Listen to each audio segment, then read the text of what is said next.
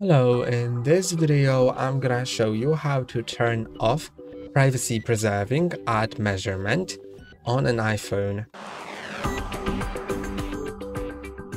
This option allows ad providers to measure the um, ad performance, but since it's privacy preserving, it uh, is under the guise of privacy, but uh, you may want to just disable it uh, for better security.